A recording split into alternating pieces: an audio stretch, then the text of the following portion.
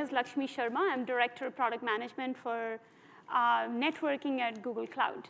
And um, I have a pleasure of talking to Eric Hanselman. He's the Chief Analyst at 451 Research. And uh, we are going to talk about uh, uh, what hybrid means to customers and what are their pain points, what are their drivers, and what are the tools that are available for making their, their journey to hybrid uh, easy as well as less risky. Over cool. to you. Well, thanks, Lakshmi. Uh, let me kick this off. Ah, technology, we're moving forward. So uh, I wanted to touch on the, the morning's keynotes. Um, hopefully most of you saw them. Uh, Urs was talking about enterprises need to transform uh, and some of the challenges that they're facing uh, simply because of market pressures, customers' demands, uh, a whole set of different pieces that are really forcing a need to transform. Um, and what we're going to be talking about today is really some, some statistics about what's driving some of that, uh, but also some of the, capabilities that can help move that forward. Uh, technology is not standing still, uh, which is an advantage generally, but, can also be, generate a little bit of risk in terms of concerns about what's the right path forward and how to really look at this. Um, if we think about movement to new capabilities and infrastructure, there's tremendous desire. Everybody wants to get to a, better place. Um, you know, whether or not that happens to be uh, beaches and sunsets, uh, new capabilities in terms of infrastructure, cloud uh, developments, whatever that happens to be. There's a lot of push to be able to get there. I think we all as humans want to be able to move towards a, a better place, whatever that capability is. Exactly how they get there and what they're doing to make those transitions happen, though, uh, are really changing very dramatically in terms of what enterprises are expecting today. And, I wanted to bring up some data. Uh, 451 has a, broad study. We have about a 60,000 uh, participant panel uh, that are looking at transitions in technology, uh, budgetary intent, spending, and this is the data that I'm going to be talking about today. This happens to be from our Voice of the Enterprise Digital Pulse uh, about transitions in on-prem data. And, and the thing that's the, the desire part of this is if you look at today, um, half of the respondents are identifying that um, between three quarters and all of their infrastructure is on-prem today. Uh, and uh, about another quarter have about half to three quarters. So that's a really large population that are primarily on-prem, and probably that's not a surprise to most of you, um, hopefully not. Um, the thing I think it's interesting from the desire perspective is you look at where their expectations about where they want to get to in two years. Uh, we're talking about a pretty dramatic change in terms of capabilities, both in what's on-prem mm-hmm. uh, today and what they expect to be able to move out. Uh, again, from an aspirational perspective, you know, there's that desire to be able to get to better infrastructure, to be able to manage your resources better. Mm-hmm. Um, it's a key part of what, what some of those uh, shifts are looking at. But it's a pretty dramatic shift. Mm-hmm. In order to do this, enterprises are really going to need a whole set of capabilities that, mm-hmm. that they may not have today. Uh, and, and that's where like, you know, infrastructure like what we have like at Google, like in the networking space, uh, we're talking about migrating like loads of data, like in two years, like the number shows. So capabilities like you know, interconnect that we have, uh, the amount of fiber that we have put in like any part of the world. So those capabilities may be useful for those customers, right? Like the, because you're migrating workloads, migrating data, so you would need that kind of infrastructure support to do that. Well, and as you start to expand into mm-hmm. new areas, it's not only just the migration part, mm-hmm. but it's all those paths to data that you've got to maintain once you're starting to move, once you're in the middle of that transition, mm-hmm. and into whatever next state you wind up getting. Mm-hmm. So interconnection winds up being really critical. Um, it's something I, I, think generally in, in the move to the early stages of cloud, enterprises really haven't fully understood hmm. precisely how important that is. Mm-hmm. Um, you know, we, we've all dealt with sort of VPN connections and you know, internet access to be able to manage it, but in order to get um, enterprise capable performance, you have to have interconnection that, that's going to be dependable enough to be mm-hmm. able to manage those transitions. That's interesting. Like, you know, um, I joined Google like six months ago, and it's very interesting to hear when people say, oh, network is seamless. And that's exactly you want customers to see, like, it's secure, and it's seamless, and it's just, it's just connecting you where you want, like, you know, bringing network to you, bringing cloud to you. That's what we do in cloud infrastructure. And uh, and all the, uh, even with geo expansions and all the expansions that we do in every part of the world, Uh, we continue to add more fibers. Like, you know, we have uh, 13 uh, subsea cables that we have. We have 125 POP locations. We have uh, loads of dedicated interconnects and, and with SLA. So um, I believe there are no other companies that offer that kind of SLA for interconnect, exactly for the reason that we kind of believe that if network has to be there, performant, and being able to give you the guarantees that you need in order to migrate your workloads, in order to migrate your data. So, yep. Well, and that seamless piece is what's important because enterprises traditionally have been used to buying capacity discretely. I'm going to buy circuits, I'm going to buy links, I'm going to buy ports, you mm-hmm. know, all these pieces. It's being able to, to actually take that, that capability and mm-hmm. bring it into an environment that is much easier to use and, and easier to consume that helps reduce risk. Uh, the other piece that I wanted to, identify that I thought was interesting about this transition, uh, if you look at, at what this transition is going to look like, when you think about how that's going to be consumed, um, this is a breakdown of expectations of where enterprises are, how they're expecting to move workloads and how they're expecting to manage that movement. Uh, the top modernized piece there is really taking a look at that, easy for me to say, expecting that they're going to take their existing environments, um, run them on-prem, and then start to be able to bring modern applications. So this is mobile apps that wrap around stuff that's on-prem. Uh, that's, that's a, a, good first step, but it's also, again, one of these sort of low-risk first step uh, uh, enterprise strategies. Uh, the second, that, that's a good step down from that, though, but I think is one of the more critical pieces, is refactoring and shift.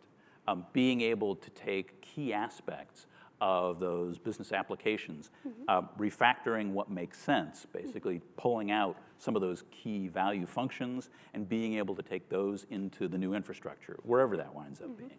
Uh, the next beyond that is repurchase and shift. That's just simply, you know, we're going to go take capabilities that somebody else has got, and, and we're going to we're going to run it that way. We're going to manage them simply in that way. Um, lift and shift is one of those pieces that, for a long time, I think was was expected to be the primary way enterprise would go forward. We just take the application, we pick it up, we bring it into cloud, colocation, whatever it happens to be. Uh, but enterprises have understood that now that's actually, that's a little more complex than, mm-hmm. than originally it was planned to be. Um, it is an area though that we think about what that transition looks like. Mm-hmm. Uh, it, it, can make a lot of sense for large monolithic functional elements. Hmm. So if we think about things like um, databases, hmm. um, big pieces of that nature, uh, those can be places where that functionality actually makes sense to migrate closer to where you expect it to be. So mm-hmm. sources of data, mm-hmm. uh, management systems for sources of truth, um, that can be a big transition that can be useful there.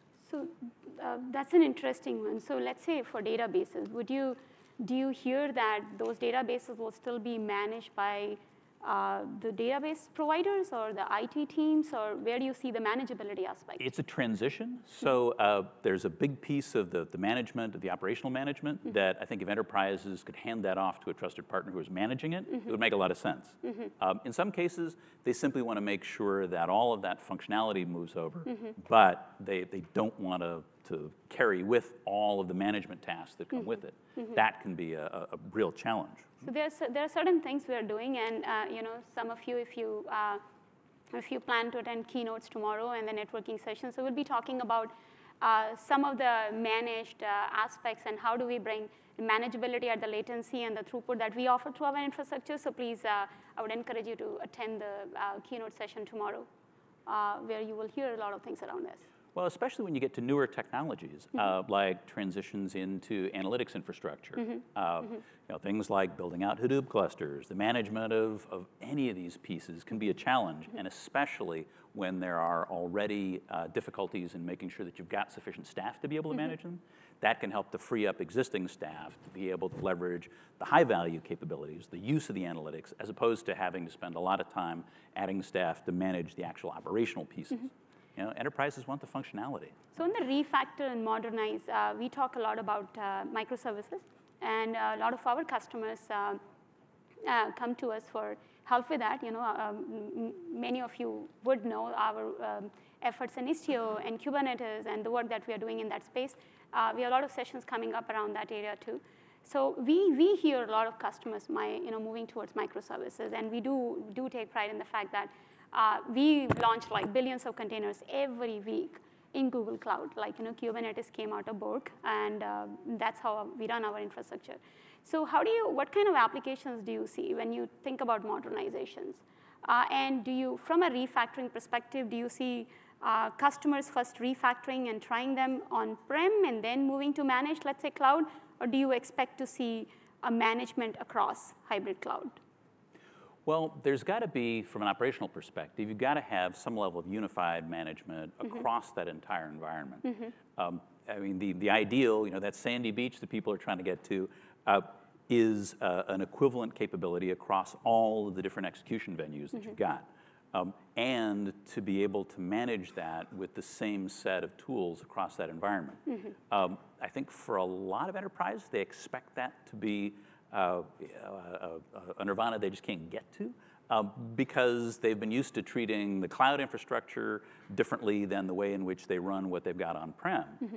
Uh, and, and you know, that can present some real challenges in terms of your, your mobility and workload mobility.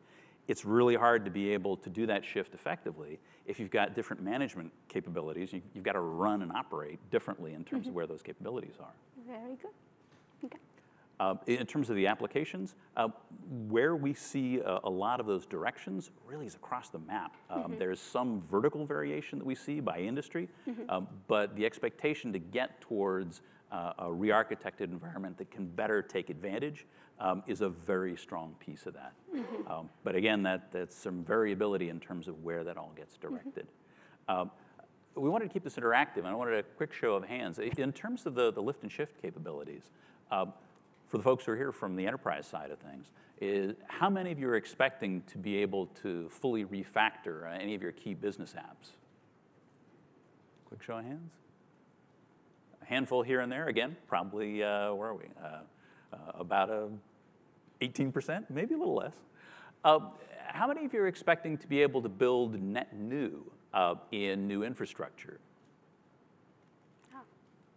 Yeah. So I, it's one of the things that I tend to see maybe a little stronger. You're here at Next. Um, you're probably a little more cloud aware in terms of what your directions are and where you're headed. So, uh, another data point that I thought was particularly interesting in all of this uh, is, is the shift to what those infrastructures are actually going to look like. And we start thinking about what the transitions, uh, you know, yes, people are getting off-prem, but where are they actually heading and what are those expectations? Today, again, most of the infrastructure that enterprise is working with is, on-prem, no big surprise there. Um, there is a reasonable amount of on-prem private cloud capability today.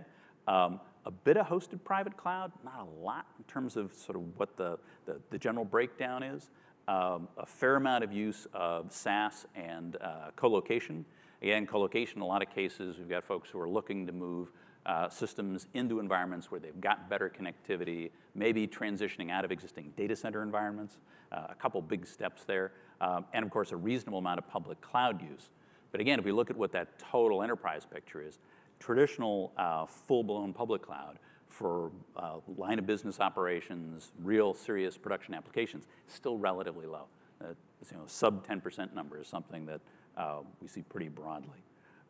My guess is here at Next, there's probably a little more use of, of direct public cloud capability and whatever that capacity is. But, um, the thing, though, that I think is, is more important is what the transition looks like. Mm-hmm. And, and to be able to move towards a doubling of utilization of public cloud capabilities, again, is going to require a significant amount of transition for enterprise. Mm-hmm. Um, and I think that's one of the places, to your question, uh, about management and, and or, the orchestration pieces mm-hmm. of this, uh, that's where there's going to need to be a, a, very large step in terms of how enterprise is really working with those capabilities. This is very interesting. Like, so although it says that on-prem IT infrastructure is going to be uh, half of what it is today, but it's, it's distributed across. So it seems like, uh, based on the current results, enterprises will still contain the hierarchies and the orgs and the roles and the policies, and then they will be distributing it across. So something around policy management, like centralized policy management, keeping how how's it how's the security like? Uh, won't the control for security going to be more distributed? Absolutely. Um, well, I think that's the challenge. Is that I think for a lot of organizations, once they start to be able to, to spread into new environments, it's great to have the ability to have you know, scaling capacity, you know, whatever those drivers are, to be able to get them to those points. Um, the challenge is to be able to take all of the people and processes that have been running the organization, you know, for however long, um, and actually transition them into an environment in which they can take advantage of hybrid capabilities. Uh, there are a set of different aspects that are, that are going to start to come into play. We already see it today with concerns about data sovereignty. You know, what do I put where? Um, where's the data that's going to be actually that this app is consuming going to be delivered from? What do I need to do with the results? You know, where can I run analytics? How do I balance all that stuff? That presents a, whole set of new challenges that for most enterprises, um, they haven't had to deal with before. So this is, uh, here I will kind of bring in uh, some of the tools that we are offering, and there are two talks around this today. Uh, so we had been hearing similar things that, hey, we have these identity management systems, and we use these identity-aware proxies and uh, on-prem, and then we go to the cloud, then we are using managed services from, let's say, from Google, like, you know, so uh, we are using your GCS, uh, managed services, and so we, we're coming from public side, we are coming from on-prem through private services. How do we how do we manage all those access, right? How do we integrate them into a common, uh, say, policy framework so that we continue to use the GCP resources, like say, which are in VPCs, and we, we can have a mapping of the identities, whether it is device identity or IP range, and we can still protect the data exfiltration, which, is, which may happen because of you know, existing roles which were able to access, let's say, GCS buckets. So we, we put in all of that together in a, in a, you know, in something called VPC service control. So you can, you can bring your identity-aware proxies. You can put your policies right at the VPC level. We have like, you know, host-based firewalls and things like that. So you, you combine both of them, and then you can bring in all the context, like, you know, oh, where, who you are, where you're coming from, what time of the day you're coming from. So with, with, this distributed kind of access of the resources, things like tools like that and automation like that becomes very important, right?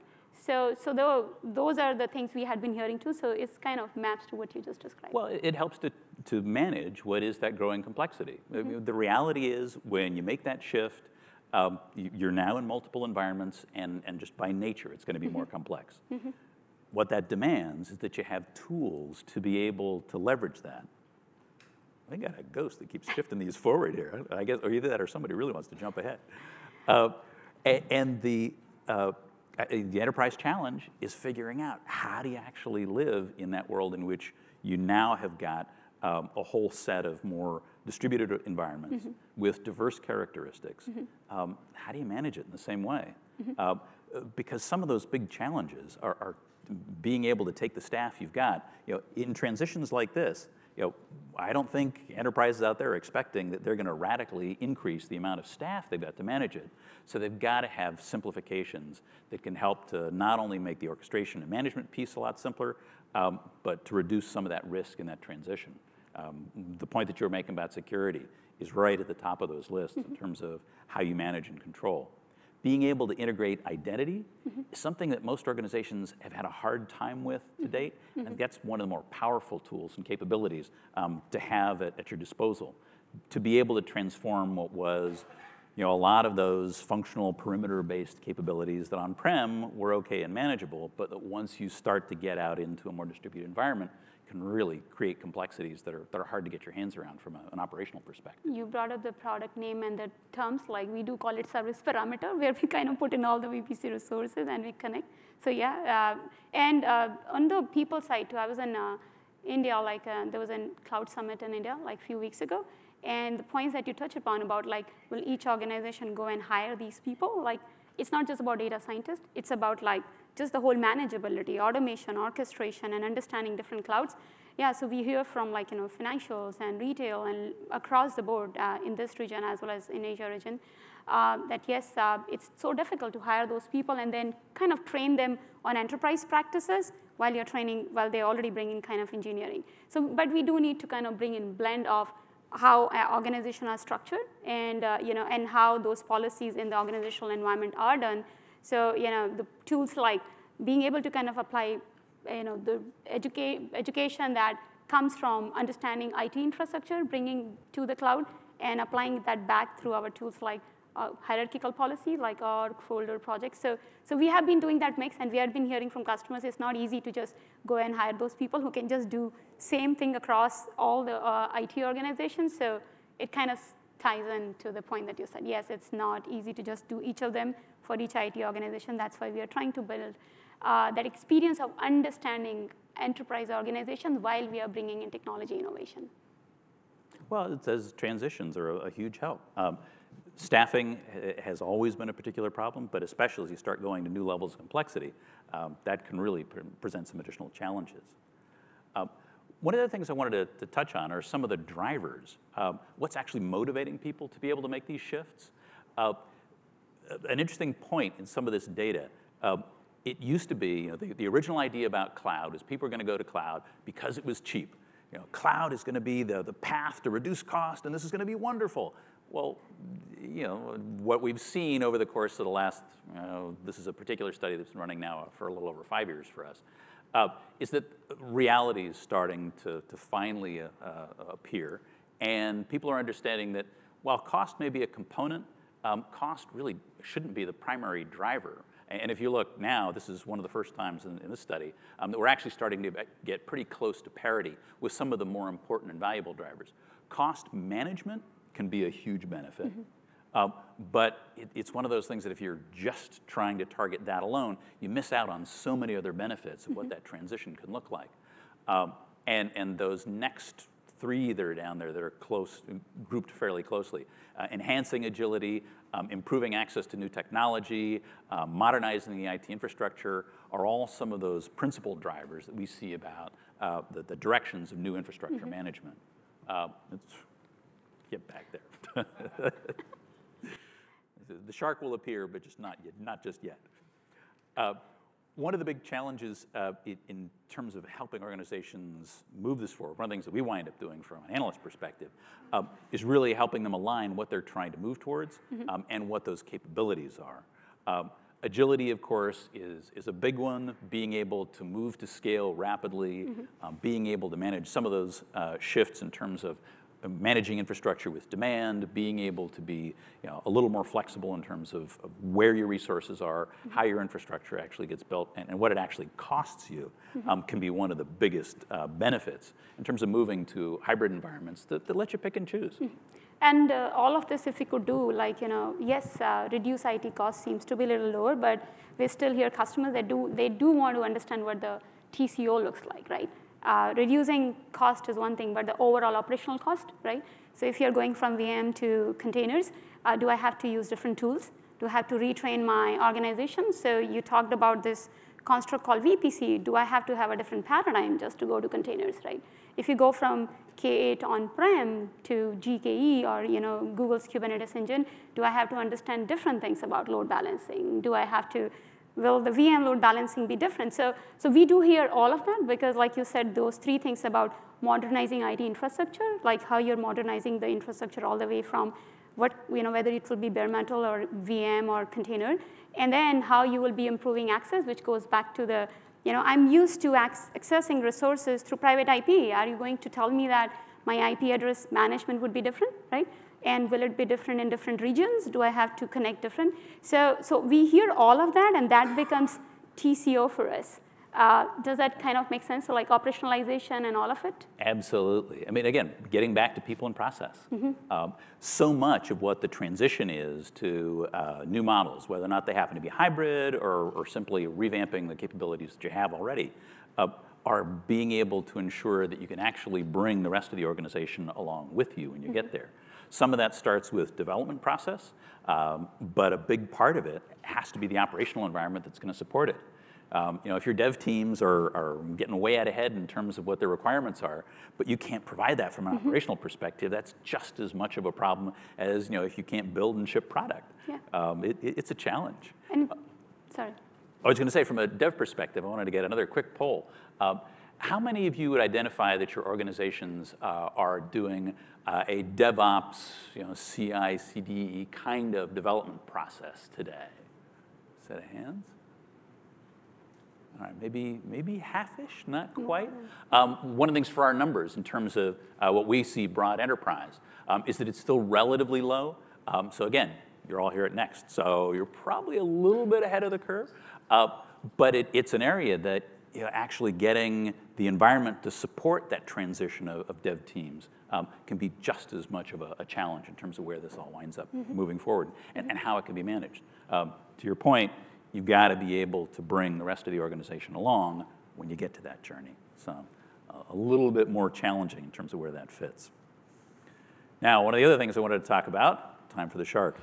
Uh, as well as desire, there's also a lot of fear. And, and we talked a little bit about sort of what those concerns are, but quite reasonably, when we think about uh, especially network infrastructure, uh, there's a lot of concern about what new models can provide uh, and, and what the transition risks are of being able to move to those environments. Um, but a lot like sharks, you know, this happens to be a Caribbean reef shark that is really good for the reef ecosystem. Um, they don't really bother people all that much. Uh, but they look pretty scary. They're still a shark. And, and they're a, a, reasonably good metaphor for what a lot of these transitions are because you know, I think a, a, lot of organizations look at what that transition is and all they see is change. And, and change is change when it's not well defined, when you don't understand what's going to get you to that new environment, um, can be pretty scary for good reason because you don't know what that outcome is going to look like. Uh, and there are more than enough cautionary tales that are out there. You know, people have seen things go wrong when whatever happened. Uh, I, would make the point that a lot of this might be tied to not being fully aware of enough of the network and interconnect pieces that you got to have to be able to bring that together. But yes. we'll leave it up to all of, all of you broadly. I would say that it is because people don't really understand. I mean, they understand the current way of designs. They understand what have been told to them, like you know, going from boxes on-prem to boxes in cloud, like, you know, so hey, instead of like, I will create your firewall, but I will keep it like a box, right? I will, it will be still throttled because of bandwidth. The load balancer would still be throttled by the bandwidth. I think that's also because they continue to be scared because of those reasons. But if they were told that the shark is low, you know, maybe like a gigantic shark and then they don't, it can't even move. It will just stay globally and would not really touch you. It will help you, like what we have with, uh, you know, we, we do here all the time because we are so simple. Uh, like if people would have really done the distributed, like kind of SDN fabric that, the way we have, like what we call Andromeda and uh, Edge automation, it's like truly software defined. I know I'm kind of, I'm not looking at the shark because I'm not afraid of it because nobody, when I came to Google Cloud, like it's just, we, we just have very simple things the way they're supposed to be. And that's why people wouldn't be scared. But we want to be able to explain that how simple it is. And it should, this is how it should have been. Just because you have global infrastructure, just because you have you know, POPs everywhere and fiber everywhere, uh, that, that doesn't cause a risk and that doesn't cause complexities because the software which is on top, it's simple. It's really you know, logically coordinated control plane uh, which is built to kind of scale to the infrastructure that we have. So people, it, it's just, it's so simple to understand. And then it, that's how SDN was supposed to be, right? Like you have a logically coordinated control plane, you'll put services on top. So if services are also built the way that application developers are used to, that's how this company built the infrastructure. Whether it is at edge, whether you talk about like data center, whether you talk about like your cloud fabric, it's, it runs at the scale. So I was talking to somebody yesterday, and, um, and they were asking about the same thing. Oh, you are so global. Is it your infrastructure? So people forget that infrastructure is not just hardware and edges and routers. The infrastructure is the capability comes from the software that we talk about. That's what made cloud possible. And if we would have made that smaller in scale, then, we, then there would be complexity. We have taken all those complexities out. You just, you just deploy click of a button, you, let's say you have global load balancer, you just go to one place and configure. Then you go to, you know, if you want to bring in your capabilities like Cloud Armor, you just go and configure another click of a button, whether it is containers, whether it is VM, it's really like single point of configuration management and distributed to the you know, scale of the world. And if, if people could just visualize that, I think they would not be afraid of it. Well, I, I, think one of the challenges is that you know we're all humans. We see that doing the same things that we've been doing is the least risky way to, to go forward. Uh, and, and I think especially when we start thinking about you know, our application structures and interconnection, uh, that there's an expectation that you know, if we just simply take what we had on-prem, put it into new environments um, in exactly the same way, it, it's just, you know, it, it, that's the safest way to do it. You know, it's kind of like walking on the beach in dress shoes. You, you can do that, um, but you're going to get sand in your shoes, and it's really not the, the best way to go about it. You know, put on flip flops. You know, get comfortable. Uh, but for for enterprises, um, that first sort of it's that lift and shift piece of we're going to take exactly what we've got, we're going to reproduce it, um, you know, exactly the same way it was because we know that works, without thinking about a lot of the simplifications that can actually start mm-hmm. to pull out um, some of the complexity. Mm-hmm. Because a lot of the, the way in which applications have been built and a lot of those structures uh, work really well for the technologies that were there, but those simplifications that now start to allow uh, a, a, much easier management, mm-hmm. um, better security, better interconnection more than anything else um, in new environments can actually start to help that transition and can reduce risk in that mm-hmm. process mm-hmm. as well.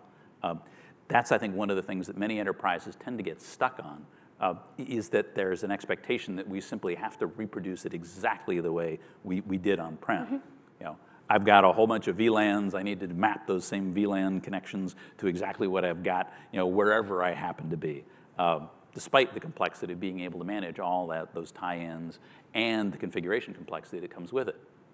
It's important to realize that, that maintaining complexity is also a risk factor. And I, I know in a lot of the conversations we have with our clients, um, that, that, that expectation that we just keep things the way they are misses out on an opportunity to actually improve uh, ri their risk posture, improve their security, um, reduce errors in configuration. You know, everybody's got good statistics on, on how many outages are caused simply by you know, manual error and in some of those transitions. Um, it, it, can be a real challenge in terms of, of what really needs to happen. I've used this uh, analogy before, and um, you know, when I worked in previous job, that um, some you know cloud providers who started uh, with the, keeping the same notion as in terms of manageability and operationals at IT, when they moved it to cloud, they really took the mainframe. So clouds are the not for us, cloud providers are the new mainframes of the world, right? So now once you're stuck, you don't even know where your storage is and how, where my policies are managed, what kind of visibility do I have? Do I, can I just use my manageability and visibility tools that I have? Like where is my packet, you know, packets going, flow going, like, so all that visibility and manageability around like my information, let's say in this case VPC or in this case your resources, is, it won't, is not easy to offer because like it's, it's just a new mainframe for some providers, not for us. Well, and you bring up the point about operational visibility, which is another critical part. Um, you know, the move to virtualization uh, gave organizations a lot more visibility in terms of what was actually happening in the infrastructure. The move to cloud actually increases that dramatically further. Uh, but most organizations don't take advantage of it. Mm-hmm. Uh, in many cases because they're not actually set up to be able to leverage greater uh, visibility, to be able to take all that telemetry and actually digest it, um, which actually brings me to the next point I wanted to identify, uh, which is that there's a dramatic lack of automation. Um, if we think about what organizations are doing today, um, we've got to get more automated in ways that are, are more sophisticated. Um, having lots of additional telemetry that can give you information about what's happening is mm-hmm. great. Um, but in many cases, we, we keep running with the same procedures um, that have got strong manual dependencies. And, and this is particularly true in networking. Uh, and it's one of those things that I, I think is a, you know, for me, one of those big transitional opportunities that, that you can actually start to do a lot more in terms of both the capabilities you have, the awareness you have in terms of the amount of telemetry that's coming out of those environments, mm-hmm. um, and the ways in which you can put it to work to, again, simplify what you're doing day in and day out. So that's a uh, that's an interesting piece. So we used to hear, and like even before I joined this company, other places, hey, cloud can only offer you L3 visibility, or it can give you like you know maybe end of the day information about all your applications. So uh, to be able to get like say you know traditional NetFlow, IPFix like of information, as well as you can give like a L3 information. So a combination of that was kind of uh, what what enterprises had been asking for, or like customers had been asking for. So in that space, we have made uh, you know, some um, products like which we call VPC flow logs, which gives you a combination of both. So, and it can continue to integrate with your existing SIEM infrastructure. So if you're used to using certain tools for just uh, digesting that information and doing troubleshooting, so we have received a lot of good feedback because we have been able to understand that, yes, you do want, like, you know, as I said, like NetFlow-like information of your IP flows, but at the same time, you do want, like, where is my, where is it coming from, where, what my IP address is, like the L3 plus the application-like information. So, so we do have some, we heard that feedback, and we are bringing up, we have brought up some products like that in that space. Well, because it's critical to mm -hmm. being able to effectively manage your environment. Mm -hmm. uh, I think a lot of organizations tend to sort of layer on uh, a lot of that monitoring management capability, uh, again, especially from networking side, um, and being able to have the, your, your environment actually provided for you, again, simplifies what you can do with it and how you can manage it. Uh, uh, curious in terms of, of the environment that's here, how many of you are using uh, more um, NetFlow, man, well, things like uh, network management capabilities like NetFlow and other telemetry to be able to give you um, real-time information about how your environments are, are operating? You know, a lot of organizations we work with, a handful. Okay, so we're, we're getting there in good shape. Um, a lot of the capabilities that, that next stage environments provide can really help you get to greater levels of visibility um, and also greater levels of integration. We talked about identity tie-ins, some of those pieces. When you start looking at automation, that becomes an even bigger piece of that environment and where that fits. I also want to make sure that uh, if there are any questions that we're going over any of this, um, we're also happy to take questions as well. So anything that we've raised or anything that doesn't fit today. All right, well, and I want to push on to one of the other pieces about network automation and what is it that holds people back. Uh, network automation is, is, by its nature harder than compute. Um, and, and, this is a back up here. Uh, and and uh, that's due to the fact that the impact and the effect of network automation is very different than compute. It must be the shark pressing the button, I don't know. Uh, that if you think about compute, we got really good at doing compute automation because compute's relatively isolated. The challenge is doing it at scale. You've got to be able to do lots of whatever that automation piece is. Uh, but you're actually only working on small, reasonably atomic pieces of, of infrastructure when you actually manage it. Network turns that whole thing on its head. Networking uh, automation is much more complicated and I think gets viewed as more risky because of the fact that you know, network configuration changes, much like managing slides, uh, has a much broader effect. Uh, you've got, you make a network configuration change, and there are a whole set of potentially connected devices that are tied to it. Um, it means that there's a lot more perceived risk around network automation. The real paradox, to my mind, is that here you've got an environment in which there is risk, but yet there's still really low automation. And automation would get you to the point at which you actually can reduce risk because you're doing fewer manual operations. So it, it's one of these crazy situations when you think about how you manage it. But there's a significant opportunity when you move towards new environments mm -hmm. to be able to leverage native capabilities to actually you know, uh, automate away much of that manual mm. process, much of those capabilities. I think complexity in some cases like, um, come from, yes, network is global, it's, it's there, it's seamless. And I, I'll go back to the example from the shark. Like, hey, this is the, here is the DNS, here is the CDN provider, here is your API, here is your API gateway, and it will, everybody just talks, starts from because it is hybrid, because it is multi-cloud, let's just do federation here, federation here, federation here. This will have different configuration. I, I feel like that's also, and I will go back to my kind of example of if, if we think about services as application running on top of an SDN fabric, that's how you know, SDN or cloud automation was supposed to be. So are just kind of adding services as and when you deploy, and you can take those services in a managed fashion as well, right? You know, some of the things around Istio, for example, they were meant to kind of abstract the service plane, which sits on top of networking plane. But if you do not simplify your network control plane, you won't be able to kind of get the scalability out of your application. So they both need to continue to go hand in hand. And the reason, other reasons uh, based on my experience of working with telcos and enterprises has been there's so many contracts to write. If you talk about I'm going from so one region or one country to another country, you're talking about inter-AS, you're talking about writing three months, four months, spending time on legal contracts of how, not just about data, just about policies, right? So if, if we could just take that away, which, which we do through our global VPCs, and you don't have to really worry about you know, all of that contracting and peering and all of that because somebody has taken care of you for that for you, and you just worry about adding your application, and discovering your application wherever you are, I, you know, some of the complexity through the automation that you talked about does go away. Well, and, and, I think that's one of the challenges to automation is that when we have a really complex environment, the automation task winds up being that much more challenging. Mm-hmm. You know, what you have to build around it is more complicated to build. Uh, if you've got the ability to simplify it, and, and Istio is a great example, uh, it, now you've got the ability to leverage what are built-in capabilities that, that simply remove that complexity. Mm-hmm. Um, how many of the crowd here are actually using Istio today?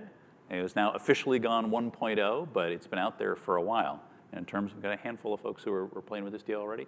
I, the whole idea about service meshes uh, is one of, again, these next steps, uh, simplifications that can help move you to environments that are going to be better suited to hybrid infrastructures, that'll help to abstract away a lot of the complexity um, that you get when you're moving towards environments that give you a lot of choice and a lot of flexibility in terms of where you're headed. Mm-hmm. So. so making transitions, so it's not really the network, it's because network is just there. So the transition that happens, if through that transition journey, if you can keep the paradigm same maybe, like in the reduce the toil with the automation and the tools, and just allow your customers or your enterprises to not just develop faster, but continue to update faster too. I, I hear a lot of numbers about, hey, we have, you can write like 2,000 deployments in a day. But if what if you have to, if we, I, I want to bring in like a lot of features every day, I want to make sure that my automation and you know, orchestration continue to support that development. Upgrades needs to be faster too, right? Absolutely. Well, it, to get to that level of speed, mm-hmm. you've got to simplify what your operational capabilities mm-hmm. are. You mm-hmm. can't have complicated systems that are running it. So again, a great way to be able to manage that and, and work that transition. Uh, one of the other points I wanted to bring up, and this is actually the, the last slide in terms of what some of the, the data is that I've got up here. And this is one of the ones that I think concerns me most about this most recent study. Um, this is something that came out of the field just a couple months ago which is the budget that's typically being allocated. Uh, if we take a look at what's happening uh, in terms of expectation of spending, I think right now, a lot of the fear about what transitions and risk are, presenting to people um, are actually holding back expectations of spending. Um, this is something that, from a, the value to organizations, uh, is something that you've got to be willing to be able to budget um, to be able to make this transition, because there are going to be shifts in terms of where that fits.